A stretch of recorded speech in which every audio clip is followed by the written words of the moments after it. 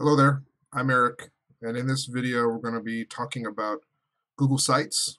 And we're going to do, this is part of a larger course in getting teachers and other educators online using Google Classroom and other G Suite Google for Education project uh, products uh, to get started teaching and learning online. And in this video, we're going to be discussing one of the first steps in a larger part of a course, and we're going to be creating a Google site, a website for your classes. Um, most of this course is going to be focused on Google Classroom, and it's important to note at this point that you technically don't need to make a website for your class, but um, as a learning designer and someone that's done this for several different types of classes, several different types of online learning.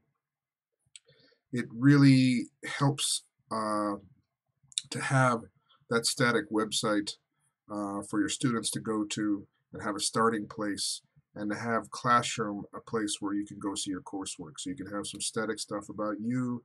Things are always in the same place. You'll notice when we get into Classroom, the more things you put into Classroom, the further down they go in the stream. Um, it, teachers can take in and out assignments. Discussions can uh, get big and disappear. So it's really nice from the student's perspective. And plus for, for teachers too, because you have some static place that you can add and subtract different courses that maybe you're teaching more than one course and you have a place to um, put everything in one spot, right? You don't have to double up on your classwork in your content in your Google Classroom stuff. So in this in this video, we're going to go through about how to make that Google site and integrate it into your Google Classroom. Okay. Okay, a couple of things uh, before we get started. Um, have you gotten to know Google Sites, the basics of how it works, uh, the functionalities of it? Can you feel like you're comfortable going around the, the interface of Google Sites? If you could probably survive this video just fine if um, you have confidence, but if these questions scare you, you might want to hop back a step or two in this course or find a previous video for this so you can uh, get more used to the actual Google Sites, what it is, what it can do, and how to navigate around it first. All right. All right, so in this video, I'm going to be doing six things, right? Six steps and you're going to be able to kind of uh, see how the steps are going as we kind of muster along. I'm going to be showing you a video uh, desktop taking you through step by step uh, of these six steps and you can follow along and hopefully um, you can skip back and forth between the the video you can scrub back and forth uh, and find some of these six steps, uh, something that you may have missed going through. All right. And of those six steps, we're going to create a Google site. We're going to name that site. We're going to add some basic, very basic content to it. We're going to add and give access to your site to possible collaborators. And then we're going to add a menu system, a page, and a sub page. And then we're going to publish to the web and explain what all those processes mean as we go through together. all right, shall we get started then? All right, with all things Google, you go to something.google.com and it's make super simple. If you want to make a website, you go to sites.google.com.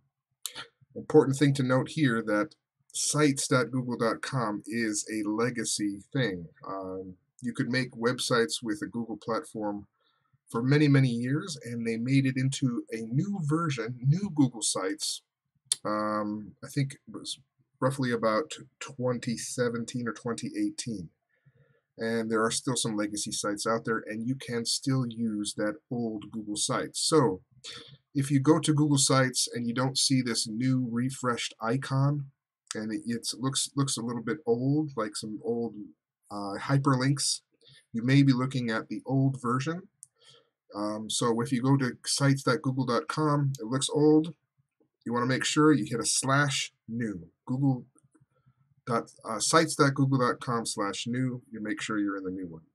You can also, you'll see a menu option to go to the new sites if you run into the old one as well. Another thing to mention here is when you make sites, if you're a teacher in an institutional account, uh, perhaps you work for a university or a K-12 school that has their own domain and their own G Suite um, administration, you will need to make a site inside using your institutional account for your students to be able to access it properly. Um, thing about Google Sites is, is that it helps house an intranet of things.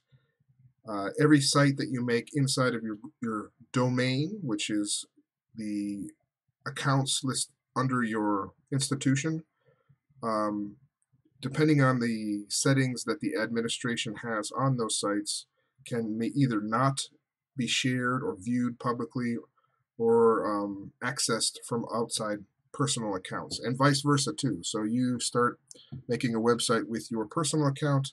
Students with institutional accounts may have restrictions on being able to see those websites outside of their domain. Uh, in fact, that's quite the standard procedure for many institutions. So to check on that, you go up to this corner here, you look at your account. Um, right now I'm logged into my personal account. I'm going to log into my, um, quick just switch accounts over to my, my institutional account. And you can see that I have a whole other list of websites available to me here. I'm going to switch back to a personal account there. right. So you can see a list of the sites that you have or have access to. You can, uh, and also start new websites by just simply clicking a button. It's just like docs or sheets or slides or any other Google products. It's so easy to make, so we'll just go ahead and make a new blank um, website. You just hit the plus button. Just like that, there you go. That's our first step. You've actually created a site.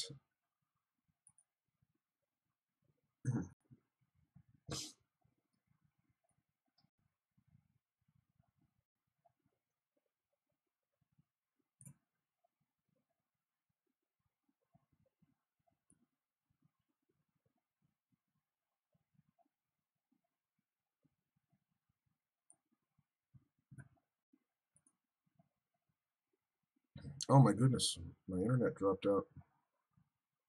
Really?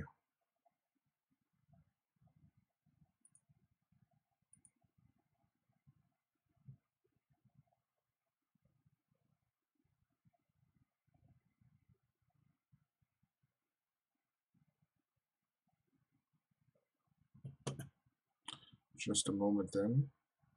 I'll be right back.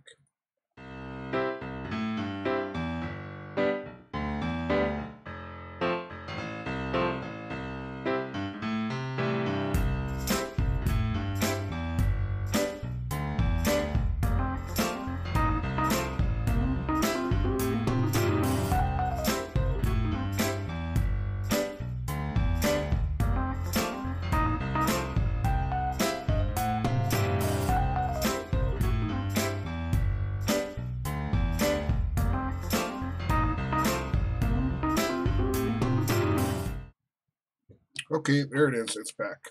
And here we have our new site. It's untitled at the moment, um, and it's blank.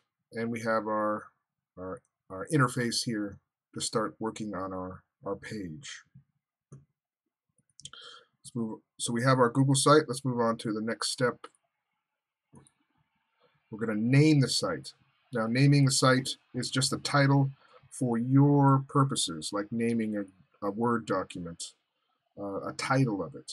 It's a little bit different be because the name of it is for you, but when you publish it on the web, you're also going to give it a URL. That's not the same thing as giving it a name. But it will try and take your name and use it for your URL to begin with. So I'm going to talk a little bit about some naming conventions that a lot of institutions use and that you might want to use to help um, name your website properly. Right?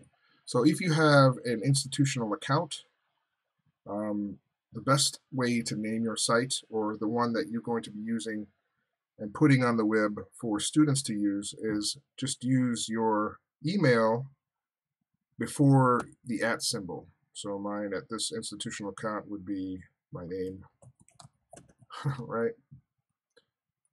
So easy peasy. If you're uh, if you're at a university, you might have a something something at 9090.edu. Good way to go is just take that first truncated part of it before the at, right? And there you go. You have a name. So as soon as you entered it, you have it in two places. You have the name of it, and then it'll it'll appear here on the top, which will turn into a menu bar, and so will always be visible. If you want, you can add a, a logo here as well. Okay, let's add some content to our page, which is pretty easy to do. Um, you can name the title. Again, if this is your personal website where you're going to be putting all of your links to your Google classes, a name is a good thing to put in. I'm just going to put in something like about me. I added some text here. change that text around. Make it a title. I'll add an image. Little screen here.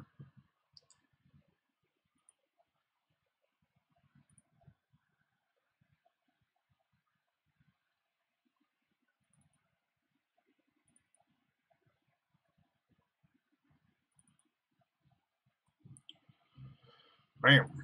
There it is. And then I'll just put in another text box. Now, good thing to know about, you can add these things, right? You click on them and it adds them automatically, but you can move this stuff around very easily. You have to look for the, the dotted hamburgers, the dots around. You can move those around, up and down, these sections, and also you can take text out and move it around as well. Right? When you click on things, you can resize them by dragging, clicking and dragging bubbles that you see around images, text, and other objects in there. So I have some text, so I'm just going to put in some fake text here. Doesn't have to be anything fancy, all right?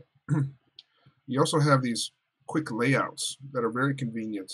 Um, a picture and some text, two pictures and some text, etc., etc. Um, play around with that. It's um, very convenient to use those things as well.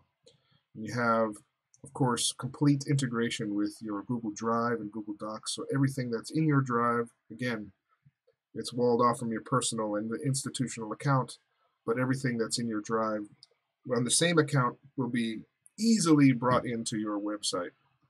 So you can easily bring in stuff from your Google Classroom too, which makes it super, super convenient to make uh, content available to all your students and potentially uh, potential students um, as well. That's another thing that's good about having this website. Make some content available to students that aren't actually in your class, if you so wish. Okay, we got some content. Where are we going next? Let's add some collaborators. Collaborators. right, adding collaborators is super easy. On the top here you have um, a preview, the link, and then a person with a plus. Almost all Google um, doc side sheets, all, all products in the G Suite have the same icon for sharing and adding collaborators. So just click on that plus button. And if you're an institutional account, you're going to see some other things listed here, right? Um, perhaps you can publish, when you publish your website, this is saying uh, everyone on, in your institution can see it, only collaborators can see it, or only people that you specify. So if you want to add a collaborator, which means you want to be able to add another teacher, uh, maybe um, a student assistant or a teaching assistant, I'm sorry, um, or this is a group website for a bunch of classes, just add those particular email addresses here and click send. Now you can add them as an editor or only view the published site. So you want to set this up so it's only be viewed by a few students. You can do so, you just have to add them individually to for them to get access when they're logged in. Easiest thing to do is to make it viewable to everybody in the institution and um, only give editing rights to yourself and maybe one or two other people just in case. Um, if you're in my same institution and you're watching this video to get training at our particular institution, you can add me if you wanted to uh, as a editor on your website so I can get access to your site to edit it, things for you. That makes it very easy for me to give you help um, should you need it um, something done to your website in the future. So just an option. You can add me as a collaborator and um, I'd have access to help edit your site if that need be. Okay. That's adding collaborators or setting permissions so people to see your website. Move on to the next step.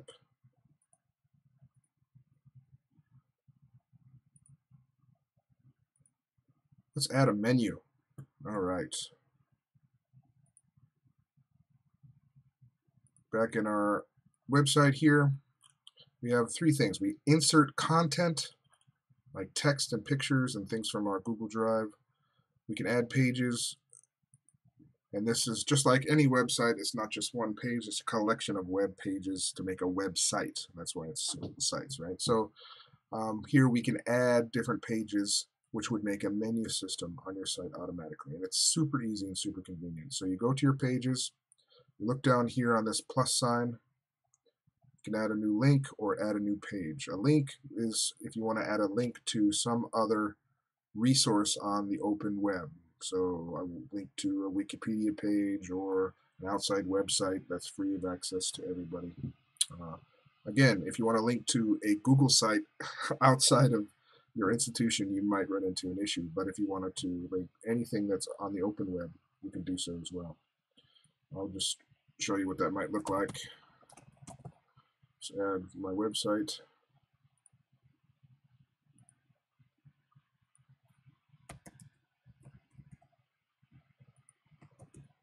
Eric's website. Give it a name, give it the link. There it is. And just like that, it's added a link to a menu, which will now be on the top of your um, website. Let's add a page, and let's call this one classes.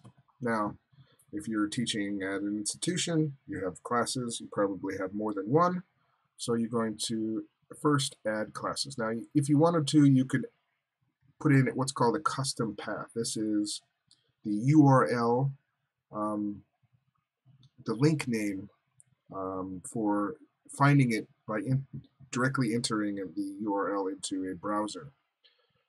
You don't really need to mess around with that if you don't want to, but for me, my, for my own pet peeve, I don't like uh, spaces because they get turned into hashtags, or not hashtags, um, um, underbars um, for this. So I like to go in and take them out or put something really simple in here. All right, click done, boom. All right, we already have classes. Now you might have more than one class, so you want to add menu items. You can nest these menu items on together. So under classes, we're going to go to add subpage. All right, so let's just say, I don't know, anything that comes to mind digital literacy, a class I teach. Boom, digital literacy. Now we have under classes, digital literacy. Now, thing to note, you have classes here that might be blank, could be confusing to some students. You might want to add in a menu here as well. So, for example, you can put in a button, digital literacy, and you can link to your site. It gives it's very convenient. It gives you pages that are available on your website. You just click the one that you want, and now you have a button on classes. So you go to just classes to take you to digital literacy, or you can just go to your top menu now and go back down to digital literacy as well. Okay, where are we now? created our site, gave it a name, added some content, maybe added a collaborator or two,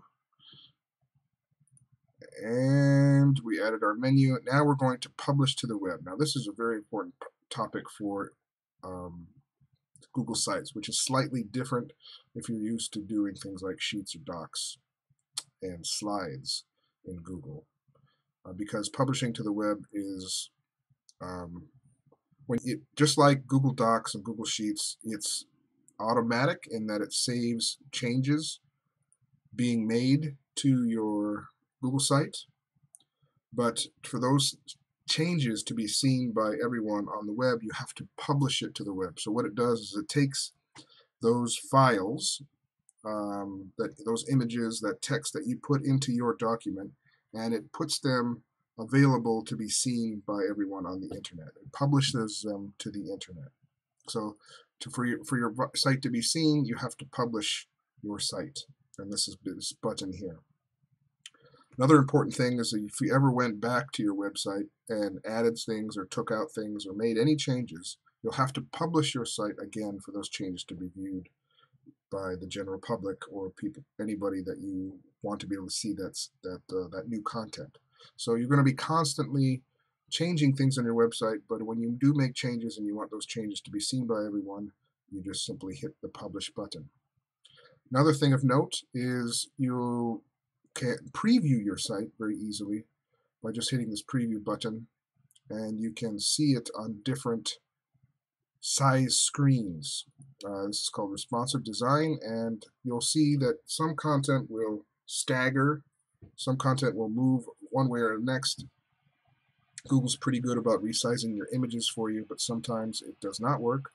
So you could test it out to make sure it works on all these size screens. All right? Last thing, publishing your site. You hit the publish button. Now, this is going to make a URL for your website, right? And like I said before, a good note of practice is to use your um, institutional email account as it is before the at symbol. Um, I have Eric Hawkinson already, so it won't let me do this. So because this is the internet and the internet, depending on where you are making this website, you can only have one URL of one type. It's very it has to be unique. So um, if you take another name, no one else could use that uh, on the internet uh, or on the internet for your institution.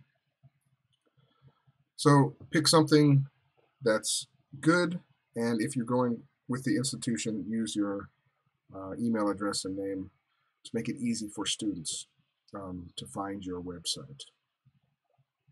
Right? And after you've entered a name, you can recheck and manage the permissions. This is the same thing with add collaborators to see who's available to see it before you publish it. And um, this option, this last option here, do not show it on search engines. This will probably not be available if you're making one in an intranet or institutional account. Last thing to do is just hit publish. I'm not going to do that now uh, for this website and then you are done making your first website. We're going to come back to this um, later on in the course so we can add content to this that's relevant to your Google Classroom, link your Google Classroom, and um, add content such as maybe breakout rooms or other things that you, you might want to add to give extra uh, features and avail um, functionality to your Google Classroom. Again, my name's Eric. Thanks for watching. We'll see you in the next video.